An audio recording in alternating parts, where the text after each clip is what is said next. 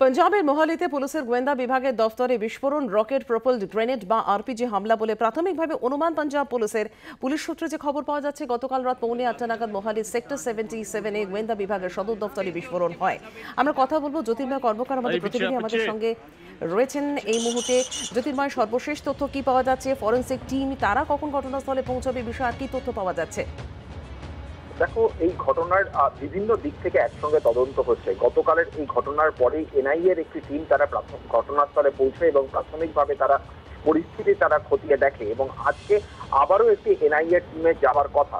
অপর দিক থেকে সেন্ট্রাল ফরেন্সিক ল্যাবরেটরি তারা ইতিমধ্যেই ঘটনাস্থলে পৌঁছেছে এবং তারা নমুনা সংগ্রহ করছে।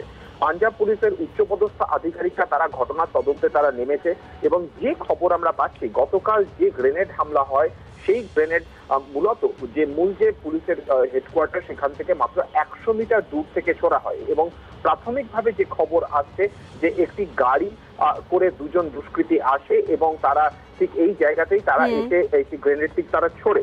এবং এখনও পর্যন্ত যে যে বিভিন্ন সূত্র মারফত যে খবর আসছে যে দুজন যুবককে আটক করেছে পুলিশ তাদের এই ঘটনার সঙ্গে সম্পর্ক রয়েছে বলে প্রাথমিকভাবে অনুমান করা হচ্ছে। ফলত সমস্ত আপাতত ধন্যবাদ জ্যোতির্ময় আপাতত তোমাকে ধন্যবাদ। এবং পাঞ্জাবের মোহালিতে এই যে রকেট প্রপল গ্রেনেড হামলা হয়েছে, আরপিজি হামলা হয়েছে, এই বিষয় নিয়ে আমরা কথা বলব।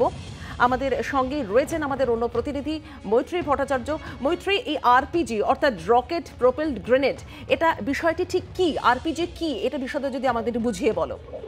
দেখো সঞ্জিতা প্রথমেই বলব রকেট প্রপেলড গ্রেনেড এটা আদতে এক ধরনের মিসাইল যেগুলো রকেট প্রপেলড গ্রেনেড লঞ্চার অর্থাৎ এই মিসাইলগুলোকে কাঁধে নিয়ে এর সামনে একটি রকেট থাকে এবং এটি গ্রেনেড লঞ্চার হিসেবে কাজ করা হয়।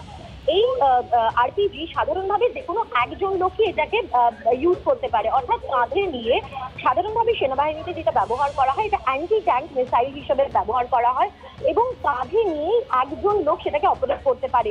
সাধারণভাবে অন্য মিসাইলের ক্ষেত্রে যেরকম একটা নেভিগেট করার দরকার পড়ে, অর্থাৎ কত দূরত্ব পর্যন্ত যাবে বা টার্গেট লক করার দরকার হয়। এই আহ, কিন্তু টার্গেট আলাদাভাবে লক করার বা এটার জন্য কিন্তু নেভিগেট করার প্রয়োজন পড়ে না। মূলত পাঁচশো থেকে এক কিলোমিটার পাঁচশো মিটার থেকে এক কিলোমিটার দূর থেকে এটা একদম নিখুঁতভাবে নিজের টার্গেটকে ধ্বংস করতে পারে। সোভিয়েত নির্মিত এই আরপিজি এখন তৈরি করে জার্মান কোম্পানি এবং। সেখান থেকে কিন্তু সেনাবাহিনীতেও এই আরপিজির ব্যবহার করা হয় মূলত। অ্যান্টি ট্যাঙ্ক মিসাইল লঞ্চার হিসাবে এই আরপিজি বা রকেট প্রপেল গ্রেনেড একেবারে মৈত্রী আবারও তোমার কাছে আসব আপাতত তোমাকে ধন্যবাদ